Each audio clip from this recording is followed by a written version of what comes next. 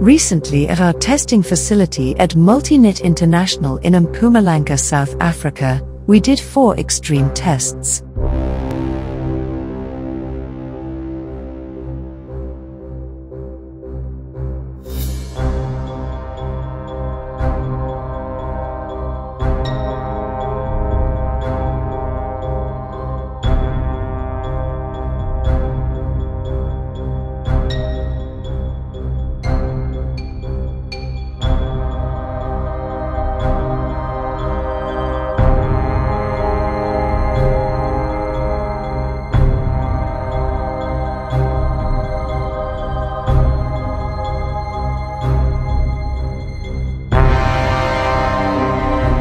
120 bags later, or 3 tons, the tension bolts start bending.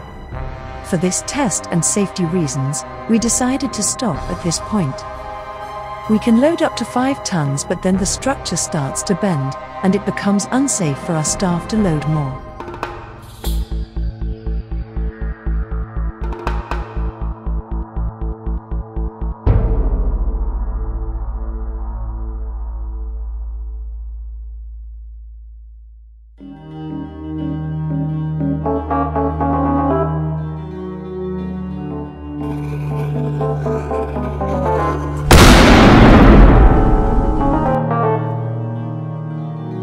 The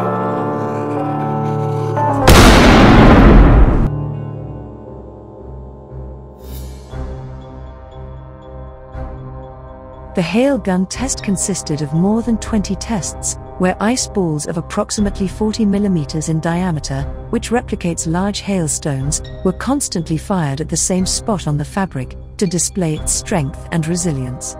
The test started at 56 meters per second, or 200 kilometers per hour, and went up to 76 meters per second, or 275 kilometers per hour.